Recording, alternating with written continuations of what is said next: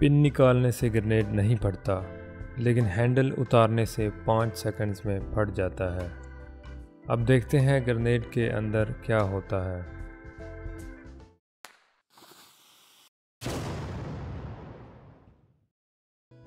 जैसे ही हैंडल अलहदा होता है, एक स्ट्राइकर स्प्रिंग की फोर्स से रिलीज़ होता है और प्रकशन कैप के ऊपर ज़ोर से गिरता है। इसके इम्पैक्ट से चंगाड़ी निकलती है। जिससे फ्यूज़ को आग लगती है और फ्यूज़ स्लोली जलना शुरू होता है।